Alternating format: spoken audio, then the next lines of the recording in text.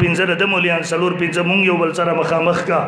کیمرې ولګوا د میډیا په ذریعہ بیا د قوم تور وخایا مړه ک پرنا ورځ مور تر اسمان ستوري ورونه کور به ماته نوم بدل ک بیا درته ویم په مذهب کې د کلک ودرېږو ان شاء الله جنگ جګړې بنه کو خپل عقیده او مذهب بساتو ان شاء الله البته دا درته تسلی در کوم تر اوسه پورې میان دوغه بچی نه دی راوړي چې د دلایلو په میدان کې حضرت امام اعظم ابو حنیفه رحم الله مذهب غلط ثابت کی تر اوسه پورې میان دوغه بچی نه دی زیږولي چې د علماء دیوبند عقیده د دلایلو په میدان کې غلط ثابت کی تر اوسه نه دی راوړي او د قیامت د سبا پورې به رام نه وړي ان شاء الله بیا ویم دلته زما طالبان رونه ناشته علما رونه زما ناشتي ټول ته ویم عوام ته ویم مذهب عقیده باندې جنگ جګړې مکوي انتشار م جوړوي فساد م جوړوي البته کلک اوسېږي سترې سترګې اوسېږي کلم چې دلیل خبره راشي یو ځل خپل علماو پر به ته مونږ ته اطلاع وکي ان شاء الله د شپې یو بجو هم درته مونږ دلته حاضر یو ان شاء الله مړه که بیا دې خبره ذهن ته ناراضي نن درته الله په خپل سترګو د روخو د خلک نظر ورته وک یو بل په کانو باندې ویشتل کوي نه ویشتل هم لیده کنه هم لیده کنه هغه پنځ بیران دلته چې براتله په تبلیغي جماعت ر کو پر شرک فتوی لګولې په شیخ الحدیث مولانا زکریا رحم الله دغه په کتاب باندې ر شرک ټاپې لګولې نن ورسې یو بل په کانو باندې ولي ویني وبې ولې په یو بل ایو وای وای هغه منکرین حدیث دي هغه وای دا منکرین حدیث دي قسم دې مونږ وای دواړو کې د انکاری حدیث لهر موجود دی مونږ هغه منظرونه کتلې دي نه کالونه ور سره زمونږ واسطه پاتې شوې ده په هر موقع باندې مونږ ورته قرا کله حدیث د رسول الله صلی الله علیه وسلم پیش کوو نبی علیہ الصلوۃ والسلام حدیث به مرته پیش کو انه لا يسمع قران علیهم د بوې د قران نه خلاف دی مونږ به حدیث د بخاری پیش کوو ما انتم باسمع لما اقول منهم د بوې د قران نه خلاف دی مونږ به حدیث د مسلم شریف پیش کوو الله پیغمبر فرمایي زره موسی علی السلام په قبر تیرې دم او هو قائم یصلی فی قبره اپ خپل قبر کې ولاړو مونږه کوو د بوې د قران نه خلاف دی مونږ به حدیث پیش کوو الانبیاء احیاء فی قبورهم یصلون دبوی د قران نه خلاف دی مونږ به حدیث پیش کوو من صلی علی عند قبر سمیته ومن صلی علی نائیا ابلغته سوق چې زما قبر ته نږدې راشي درود سلام وای زه په خپل باندې اورما د لری نه د پرشتو په ذریعه ما تر رسول کېږي دبوی د قران نه خلاف دی مونږ به حدیث د ابن ماجه پیش کوو الله پیغمبر فرمای ان الله حرم علی الارض ان تاكل اجساد الانبیاء فنبی الله حی يرزق د به د قران نه خلاف دی مونږ به حدیث پیش کوو د الله پیغمبر فرمای ما من احد یسلم علی الا رد الله علی روحی حتا ارد علیه السلام د به د قران نه خلاف دی مونږ به حدیث د طبرانی پیش کوو نبی علیہ السلام فرمای عیسی علیہ السلام برازی ثم لئن قام علی قبری بیا به زما قبر تراشی فقال یا محمد سلام به وکی سب جواب ورکم خبر په خبر به د حدیث انبار مونږ لګو دیو به د قران نه خلاف دی مونږ ورته مخکې ویلي اوس ورته بیا وایو قسم دی دا ځمکه اسمان ته تللی شي اسمان ځمکې ته راتللی شي خو د الله د پیغمبر احادیث د قرآن نه خلاف کلم نه شي کېدی الله د پیغمبر احادیث د قرآن نه خلاف کلم نه شي کېدی دا زمونږ ایمان دی زمونږ عقیده ده محترمو خپل علماو به کلکه ملګرتیا کوي ان شاء الله او دا دیني مدارس دا بابات ساتو ردی سره تعاون کوي ان شاء الله دا یورپ نه دی یورپ دیو تر دیو راهب خانه دیو په خپل کاروبارونو کې د راهبان راهب خانه د ځان سره شریک کړی وي په خپل تجارتونو کې تنخواګانو کې محترم او کله چې اکثر پکې وفات کیږي هغه وصیت وکي زما مال ټول د پلانکې ادارې لپاره وقف بچو ته نه ورکړي نو ما او تا خو اهل حق یو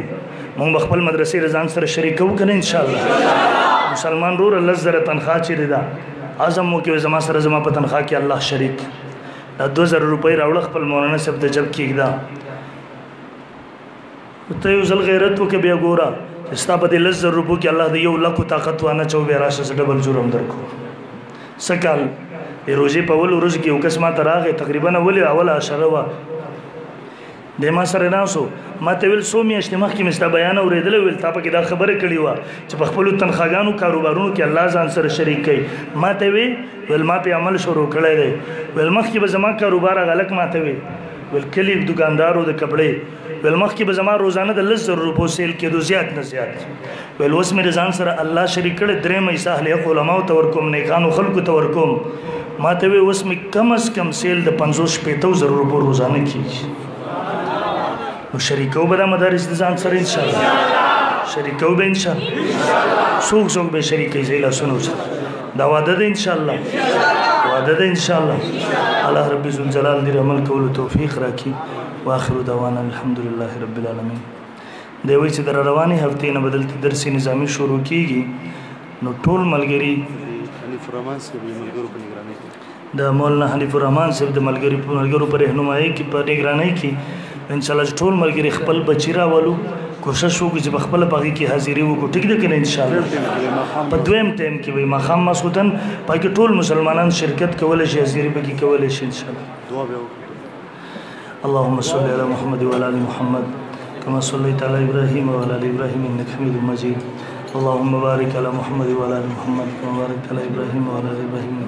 تاسو کې نه ملګری کې نه ګوري حدیث کې راځي الدعاء مخ العباده دعا د عبادت مغز دی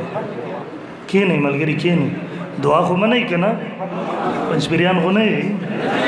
نو دعا من ولهم د الله ته محتاج کینه دی وخت الله دعاګانې قبلې درود شریف اللهم صل علی محمد وعلى ال محمد کما ابراهیم وعلى ال ابراهیم رب ذل جلال زمونږ د مجلس په خپل دربار کې قبول او منزور وګرځي الله سم چې ویل سم اورید عمل کول راته بیره نصیب کې رب ذل جلال کوم بچو خدمونه کړی با عمل عالمان جوړ کی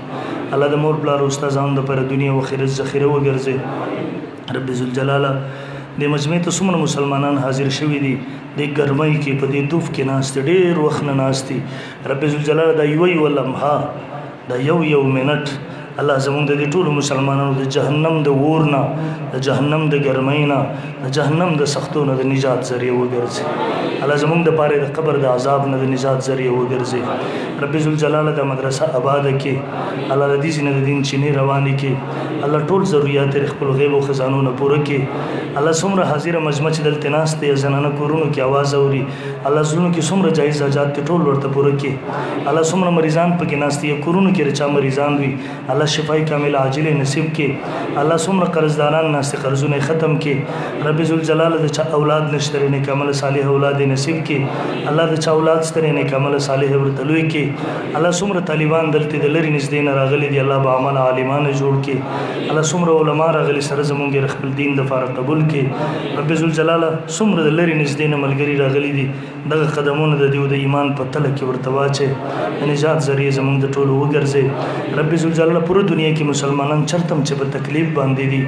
الله د هغوی حفاظت او نصرت وکړي، رب ذوالجلال څوک چې ستا د دین لپاره په کومه شعبه کې، په کوم ځي کې، په کومې طریقې سره کار کوي، الله حفاظت او نصرت نصیب کې الله د امارت اسلامي مجاهدین کامیاب او کامران کې قدم به قدم حفاظت او نصرت او فرمایي الله د امریکای غرور او طاقت دغه مجاهدینو د خپل الله سوما د لاندې مات کې رب ذل جلاله پوره دنیا کې اسلامي ملکونو حفاظت وکړي الله د حرمینو شریفینو حفاظت وکړي الله زموږ د وطن پاکستان حفاظت وکړي الله دلته اسلامي او شرعي نظام راولي الله زمونږ د وطن د اقتدار واګي علماء حق ته پلاسونو کې ورکي رب ذل جلال دا کم قحطونه روان دي په مختلفو شکلونو کې زمونږ د اعمالو نتیجه ده ظالم حکمرانان په مونږ باندې رب ذل جلال مسلط دي نا اهل حکمرانان مسلط دي کله د وړو شارټیج دی کله د پېټرولو شارټیج دی کله د کرونا په شکل کې وبا ده وس خبر لا روانه ده چې ملخانو په شکل کې نوې وبا د ملک تراغلي ده الله زمونږ د قوم زموږ د مسلمانان د ډېر تکلیفونو سره مخامخ را روان دي په تنګ شوي دي په تکلیف باندې دي ځپلې دي الله مزید د مزید د عذابونو نه مزید د وباګانو نه موږ ټول محفوظ وساتي زموږ د وطن محفوظ وساتي ټول مسلمانان محفوظ وساتي الله زموږ د اجتماع په خپل دربار کې قبول او منظور وګرځي الله د علماء دیوبند اهل سنت والجماعت دغه پاک او مبارک قافله دنیا کې هم دیو سره ملګرتیا نصیب کړي اخرت کې هم د دیو سره حشر وکړي اللهم ارنا الحق حقا وارزقنا اتباعه وارنا الباطل باطلا وارزقنا اجتنابه امين امين امين صلى الله تعالى على خير خلقه